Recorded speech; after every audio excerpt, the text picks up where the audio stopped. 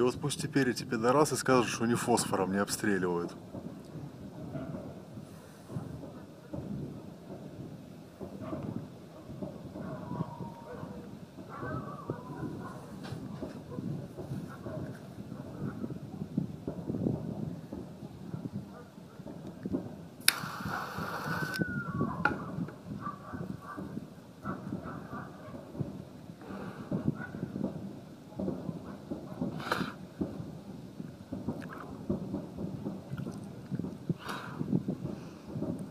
Не, ну, блядь, перемирие, конечно.